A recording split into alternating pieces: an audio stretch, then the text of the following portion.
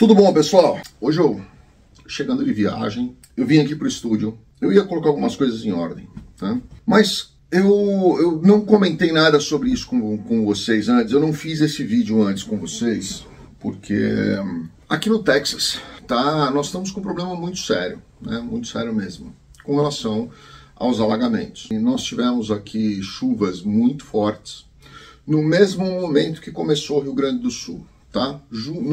Na, mesma, na mesma toada, tá? No mesmo período agora.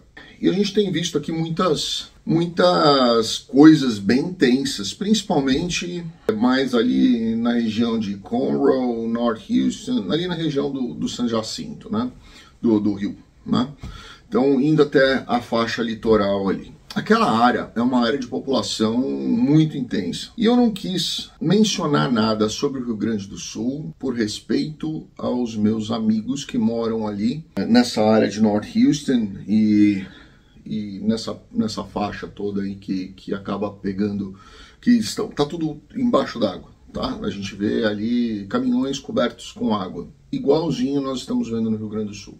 E eu não quis falar nada, porque se eu falasse alguma coisa do Rio Grande do Sul, obviamente que é um lugar que eu amo, eu já falei aqui diversas vezes em vídeos que eu, eu sou um, um paulistano que tem um coração imenso no Rio Grande do Sul, eu tenho muitos amigos no Rio Grande do Sul. Quando eu começo algum ciclo de palestras no Brasil, eu sempre começo por Porto Alegre. Eu amo o Rio Grande do Sul e eu amo a cultura gaúcha e eu já falei isso muitas vezes aqui. Então é assim, eu não quis falar nada daqui, do que estava acontecendo aqui, por respeito aos meus amigos gaúchos. E eu não quis entrar nesse ponto é, do Rio Grande do Sul por respeito a esses meus amigos, que muitos são inclusive gaúchos, que moram aqui nessa região que também está alagada. Só que eu, eu falo para vocês, né, eu me seguro muito para gravar vídeo quando eu tenho que fazer alguma coisa crítica no Brasil, porque sempre vem aquele apaixonado por político e eu falo que o Brasil ele está ele ele tá numa cama de um hospital num ponto terminal já tá, tá é uma chavinha só para desligar ali para e tudo para o ralo, porque a gente vê a política tão corroída dentro do país e ainda tem pessoas que amam os políticos. Né? Ele acha que o fato dele se polarizar, ah, não, eu sou um ou eu sou o outro, ele, ele, ele resolve o problema do país. Não resolve o problema do país. O problema do país é muito maior do que isso. E não vai dizer para mim que, ah, mas se não fosse o Lula que estivesse no, no, no, no poder hoje, isso aqui não estaria acontecendo. Estaria acontecendo, porque o problema já vem há muito tempo antes e a corrupção já corroeu tudo isso. O dinheiro que era para ir para essas coisas está num bando de vagabundo que a gente sustenta pagando imposto. Então eu vou contar para vocês aqui e eu resolvi fazer esse vídeo aqui. Eu sei que vai ter gente criticando, mas eu vou falar, vou falar o que eu tenho que falar, que eu tô de saco cheio dessa história, tá? O que, que aconteceu? Eu cheguei de viagem e eu, a primeira coisa que eu fui olhar, né, que eu recebi uma matéria de um amigo meu falando: olha, poxa, você viu que até agora já tem 55 mortos nessa tragédia, nessa loucura, insanidade que o poder público estúpido, e eu não estou falando poder público só, municipal, estadual, não, eu estou falando público, estadual, municipal, federal, é, galáctico, eu estou falando de tudo, tá? Estou falando de todos eles ali. Mortes e enchentes no Rio Grande do Sul, publicado hoje no G1, tá? 55 mortes por enquanto, tá? Aí tem um monte, aqui eles colocam um monte de número de desabrigados, pessoas, mais de 90 mil pessoas perdendo as suas casas. E eu fui fazer uma pesquisa. Eu falei, caramba, 55 pessoas morreram até agora no Rio Grande do Sul. E se você pegar o Rio Grande do Sul e comparar com o tamanho do, do Texas, você vai ver que ele é muito menor, tá? Eu falei, nossa, deve ter morrido então centenas de pessoas aqui nesse alagamento, porque pegou North Houston, né? E a gente está falando ali em North Houston, nós estamos falando ali tranquilamente, tranquilamente assim, só naquela região ali nós estamos falando em 8 a 10 milhões de pessoas, mais ou menos, tá? Eu tô, eu tô chutando mais ou menos aqui, mas eu garanto para vocês que aquela área inteira ali do San Jacinto, 8 a 10 milhões de pessoas foram afetadas pelos floodings, tá? Eu falei, nossa, mas isso daí é o tamanho do, do, Rio Grande do Sul inteiro, né? E a gente está falando de uma área só ali que foi, foi afetada. É, a população que atingiu aqui no Texas é praticamente a população do, do, Rio Grande do Sul inteiro. É como se o Rio Grande do Sul inteiro fosse alagado ali, tá? E aí eu fui olhar quantas pessoas morreram aqui. Para vocês ficarem impressionados, morreu uma criança, porque ela foi levada pelas águas. Óbvio que é uma perda, qualquer perda, qualquer vida a gente tem que ficar indignado e ficar chateado e, e obviamente, é, questionar, né? Mas num, num, num flooding, num, num, alagamento desse tamanho, por causa de chuvas, e aqui passou tornado também, tá? Então nós tivemos aqui uma semana inteira com alerta de tornados. Então não foram só chuvas, foram chuvas fortes e tornado, tá? Que não aconteceu no Rio Grande do Sul. Aí a gente tem uma morte. E no Brasil, a gente tem 55, numa área que é um quinto do tamanho da área que foi atingida aqui, com talvez um quinto da população concentrada naquela região.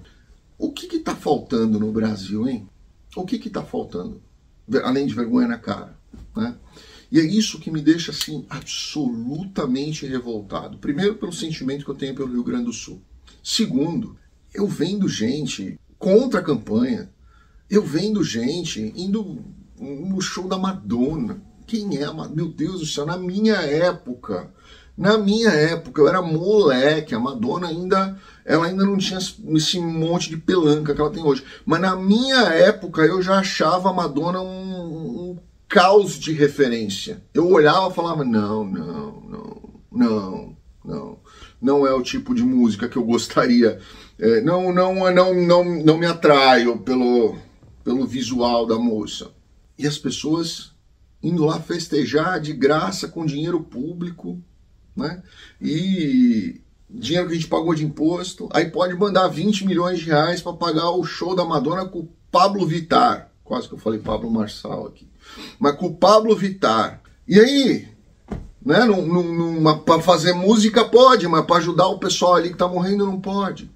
Aí o governo do, do Rio Grande do Sul, oh, mas o bombeiro, vou discutir com o bombeiro, aí você vê, eu vi vídeo agora na televisão, o, o cara do bombeiro batendo boca por causa do jet ski. O que, que esse cara tá fazendo na rua, meu Deus do céu? Ele devia estar tá lá salvando as pessoas e não batendo boca com o cara na rua. Aonde que está a nossa capacidade de enxergar o problema, pelo menos, pelo menos, cobrar esse tipo de coisa das pessoas que governam. Né? Aonde que está o Ministério Público agora, o Ministério Público brasileiro, que eu, que eu aqui já, já falei diversas vezes, a, a, alegria, o orgulho que eu tenho de ter trabalhado no Ministério Público como estagiário concursado. Trago isso um carinho imenso dentro do meu coração. Cadê os, os promotores? Né? Cadê aquele promotor com a garra que o doutor Tardelli tinha na minha época, de chegar ali e falar assim: olha, peraí, quem é o responsável por esse negócio aqui? Vai responder criminalmente por isso. Ah, mas não tinha verba. Problema seu, você se candidatou a ser um funcionário público, um governador, um prefeito. Problema seu, vai responder criminalmente pelas mortes que aconteceram aqui, ó. Aí quando eu falei que eu fiz aquela denúncia, que foi arquivada, né? Óbvio. Mas quando eu fiz a, o pedido de instauração de inquérito por homicídio culposo do, do, do nosso ex-governador de São Paulo, não, Daniel, aí você tá pegando muito pesado. Ué, mas para ele fazer aquilo, a, a, toda aquela palhaçada que ele fez na época do Covid, ele tava tranquilo. E as pessoas morrendo. Né? Então, assim, é muito legal pedir voto, é muito legal receber o caixa lá, puxar aquele extratão na conta. Olha, olha quanto tá aqui o meu estado. Seu estado não é seu estado. As pessoas te colocaram ali para você ter responsabilidade. E o político no Brasil, ele quer fazer carreira. Aí eu olho o Pablo Marçal querendo ser prefeito. Nosso país está chegando num ponto em que está muito difícil, muito difícil principalmente quem está fora do país. Está muito difícil a gente explicar para as pessoas por que, que algumas coisas acontecem, porque as pessoas não entendem. Quando eu chego com isso daqui, conto para alguém aqui, olha, no nosso país, no Rio Grande do Sul, que é um, um lugar muito bacana, no Rio Grande do Sul, nós tivemos 55 mortos, enquanto no Texas nós tivemos, infelizmente, uma pessoa, que Deus o tenha, mas é uma pessoa e não 55, numa área muito menor. Quer dizer que a eficiência do poder público aqui é muito maior do que a eficiência do poder público no Brasil. E aí as pessoas ainda viram para mim e falam assim: não é, mas pagar imposto nos Estados Unidos é muito caro. Não, não é caro. O que eu pago de imposto, se eu enxergo que meu filho está tendo segurança, escola de primeiro mundo, tranquilidade para andar, andar na rua e oportunidades de trabalho para ele, eu, eu pagaria 50% de imposto. Porque o resto eu preciso pagar conta, né? Mas eu pagaria com amor, com vontade, 50% de imposto. E você no Brasil? Quanto que você pagaria com vontade? Pensa nisso. E pensem nessas redes sociais desse bando de vagabundo que fica postando besteira, falando besteira, sem ter a menor noção do que está falando, só para colocar ali para tentar lacrar, para tentar, ah, eu vou dar a minha opinião. Nunca estudou, nunca, nunca leu, como disse o Pondé na semana passada, numa palestra que ele fez. São doutores que leram um livro e meio na vida e acha que pode dar uma, uma, uma, opinião sobre alguma coisa. Pensem nisso. Deixa aqui embaixo a sua, a sua opinião. E já peço desculpa, porque eu realmente estou bem cansado e estou bem decepcionado com esse tipo de coisa que acontece. Quis dividir aqui com vocês. Um grande abraço, fiquem com Deus. Obrigado.